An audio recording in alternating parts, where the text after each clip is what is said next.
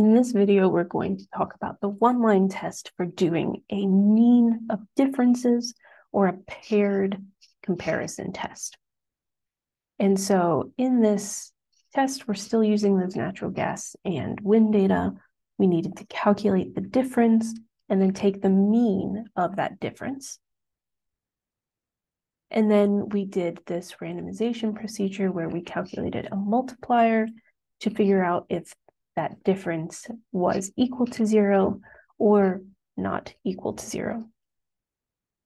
And eventually we calculated a p-value, which resulted in rejecting the null hypothesis.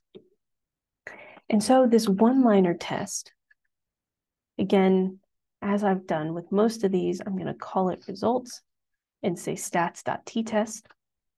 And in this case, it's REL to signify that this data is not independent, that we are doing a paired comparison test.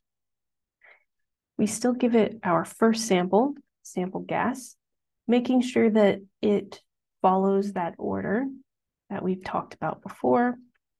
Our second sample sample wind. And in this case, all we need to do specify the alternative equal to less and do results dot p value. And so we can see what our p-value is. It's very close to zero.